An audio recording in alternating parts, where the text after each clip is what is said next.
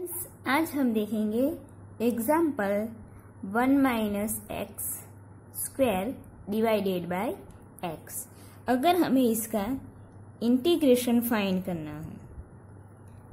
अगर हमें integration find करना हो one minus X square divided by X का तो उसके लिए हमें ये ऊपर की जो वैल्यू है वन माइनस एक्स स्क्वायर उसको सबसे पहले सॉल्व करना होगा। तो वो कैसे करेंगे? तो इसके लिए हमें इसका फैक्टराइजेशन करना होगा। तो ये फैक्टराइजेशन करने के लिए आपको पता ही होगा कि हम यूज़ करेंगे ए माइनस बी स्क्वेयर का। तो ए माइनस बी स्क्वेयर का फैक्टराइजेशन क्या होगा? कि A square minus two A B plus B square तो इसका यूज़ करके हम यहाँ पे फैक्टराइजेशन करेंगे। तो यहाँ पे क्या लिखेंगे? Integration one minus X square का क्या होगा? यहाँ पे ए की जगह वन है एंड बी की जगह एक्स है। तो ए स्क्वायर सबसे पहले लिखना है तो यहाँ पे वन है, वन का स्क्वायर क्या होगा? वन। माइनस। यहाँ पे माइनस टू ए बी है तो सबसे पहले टू लिख देंगे। ए इज़ इक्वल टू क्या है? वन है तो टू वन जा तो वन ही हो जाएगा, देन है बी। तो b इज़ इक्वल टू यहाँ पे क्या है? b की जगह पे x तो यहाँ पे क्या होगा? माइनस टू एक्स अब लास्ट में लेना है प्लस बी स्क्वेयर तो यहाँ पे क्या है? x है। तो यहाँ पे क्या होगा? प्लस एक्स स्क्वेयर तो one minus X square X square का फैक्टराइजेशन क्या होगा? One minus two X plus X square अब डिवाइडेड में x है तो वो x लिख देंगे इंटू डी एक्स ये लिख लिया अब आप लोग देखोगे तो यहाँ पे डिवाइडेड में सिर्फ़ x है। तो हमें क्या करना है? सभी टर्म के डिवाइडेड में x लिख लेंगे। तो यहाँ पे होगा integration one divided by X minus two X divided by X plus X square divided by X into D X ये लिख दिया? अब जो भी सॉल्व होगा वो करेंगे। तो यहाँ पे क्या होगा? Integration one divided by X ही रहेगा। Minus two X divided by X तो एक्स कैंसिल हो जाएगा तो यहाँ पे मिलेगा minus two X square divided by X तो एक्स की एक पावर यहाँ पे कैंसिल हो जाएगी और एक्स कैंसिल हो जाएगा। तो plus X into D X अब हम यहाँ से इंटीग्रेशन फाइंड करेंगे। तो यहाँ पे क्या होगा?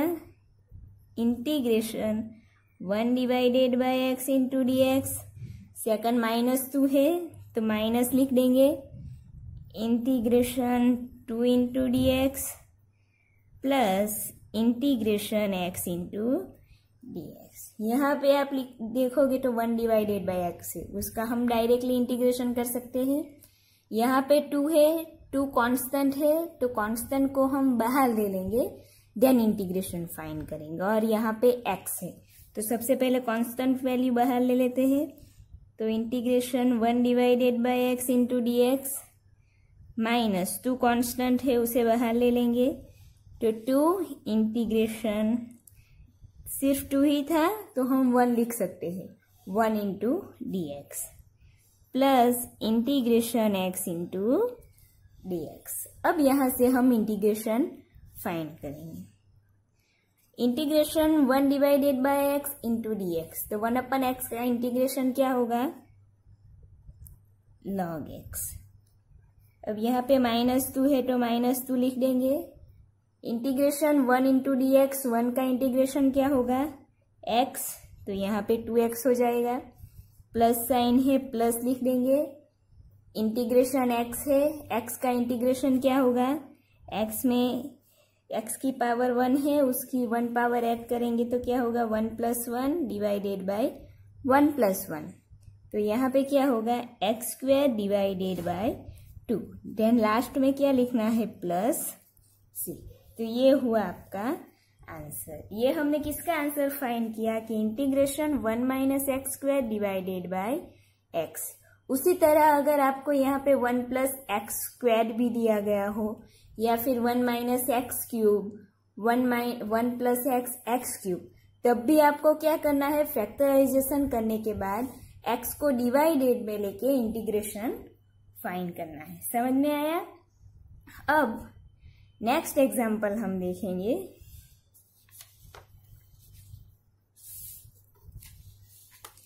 Number two, integration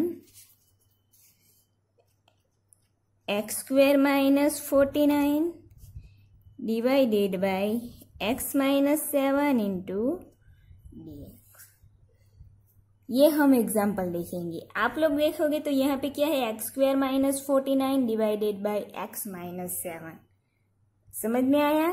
ये देख के आप लोग डायरेक्टली एज्यूम कर लेंगे कि यहाँ पे डिवाइडेड रूल यूज़ करना है। मगर ऐसा नहीं करना है। यहाँ पे आप देखोगे तो क्या है? X square minus forty nine है। मतलब यहाँ पे क्या है? A square minus B square A square minus B square का फैक्टराइजेशन क्या होता है? पता है ना आप लोगों को कि A minus B and A plus B तो यहाँ पे देखोगे तो यहाँ पे x की पावर है फोर्टी नाइन मतलब सेवन की पावर टू है। यहाँ पे क्या है? X square minus forty nine is equal to क्या होगा यहाँ पे?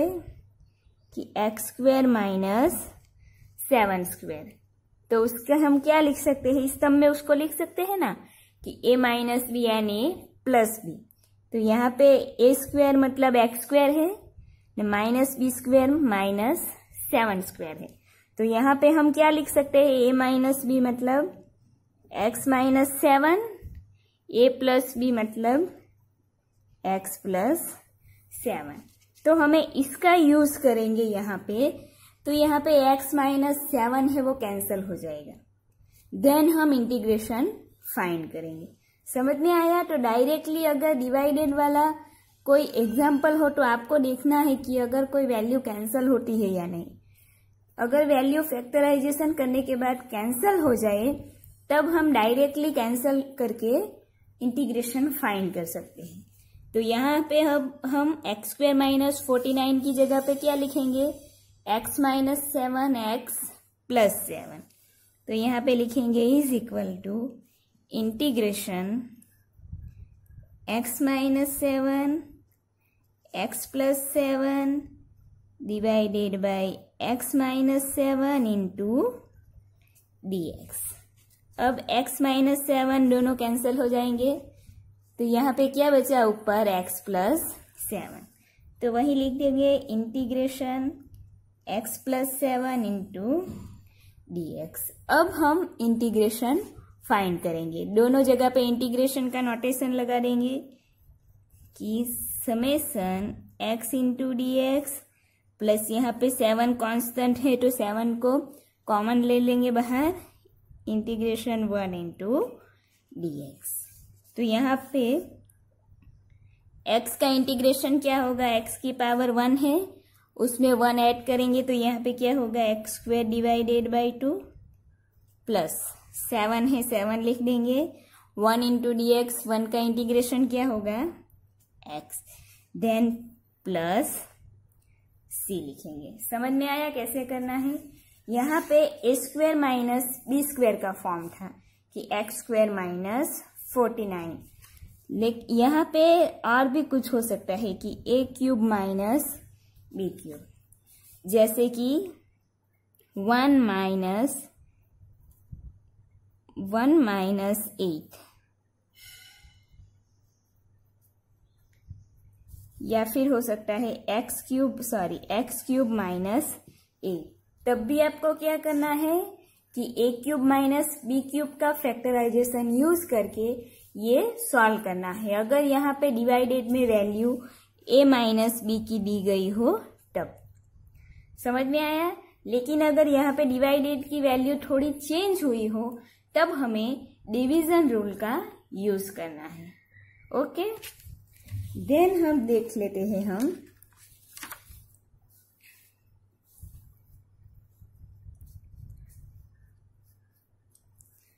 number three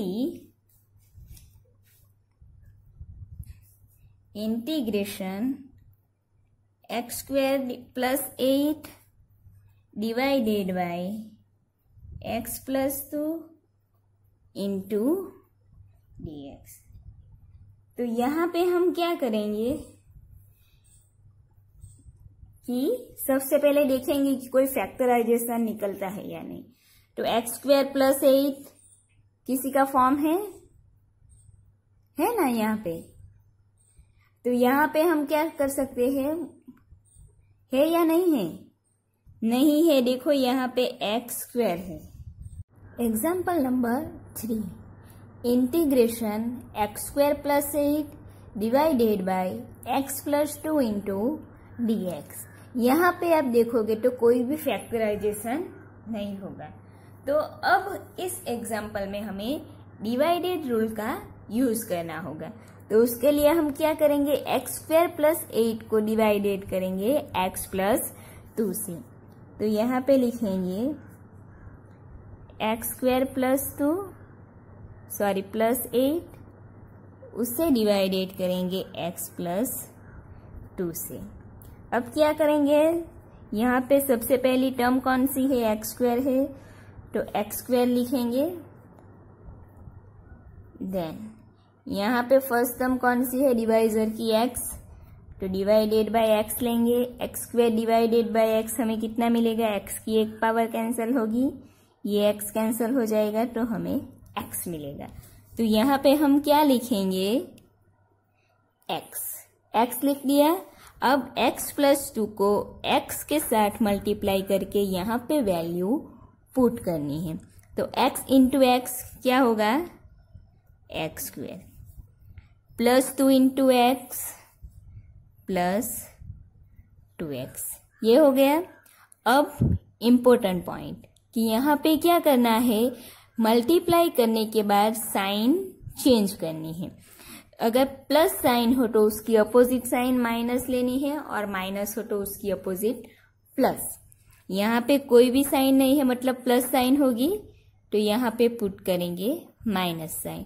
यहाँ पे भी प्लस साइन है प्लस की अपोजिट माइनस साइन पुट करेंगे।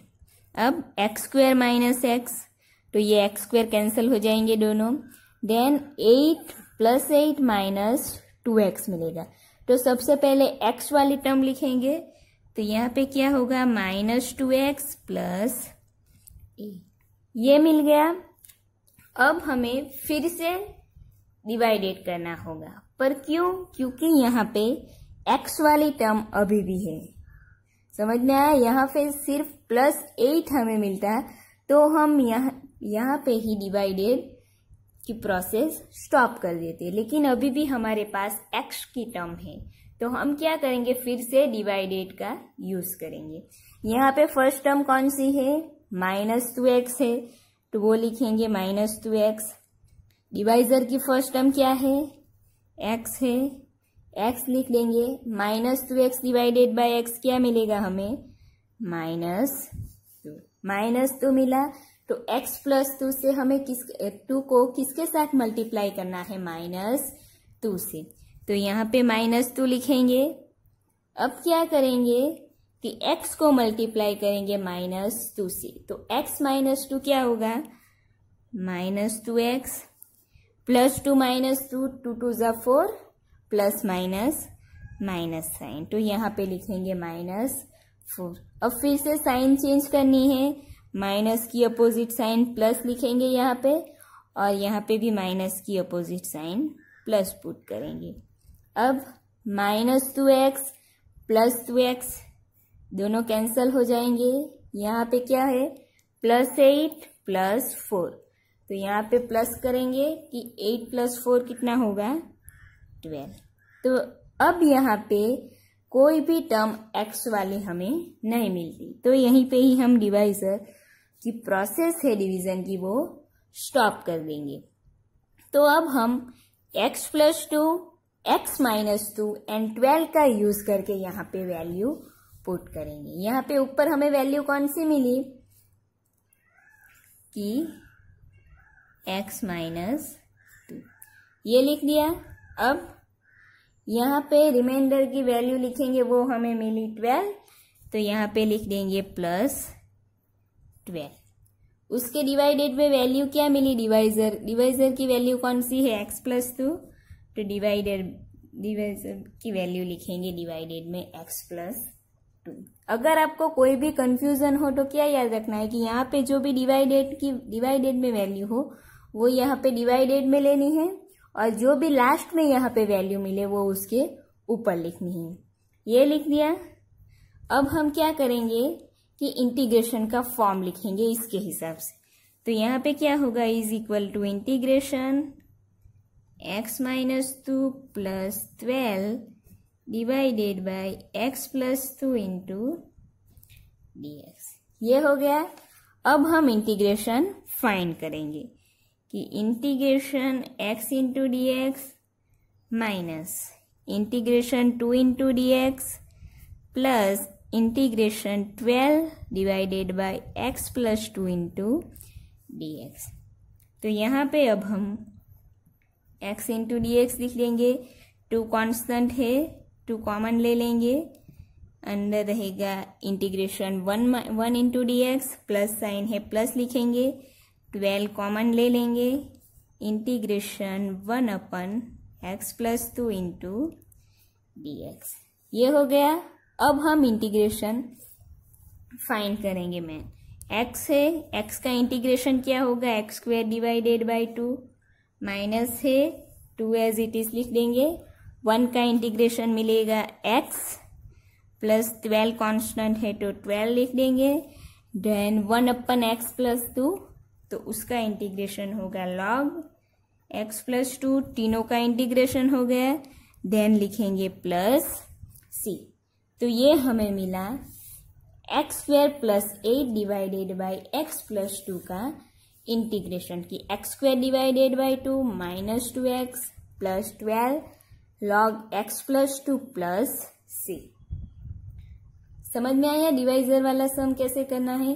कि जहाँ तक हमें यहाँ पे एक्स वाला पद एक्स वाली टर्म मिलती जाएगी, तब तक हम डिवाइडेड की प्रोसेस करते जाएँगे। लेकिन जहाँ पे भी हमें एक्स की बिना वाली वैल्यू मिलेगी, कि यहाँ पे ट्वेल्व मिला तो यहाँ पे भी हमने ये प्रोसेस रोक दी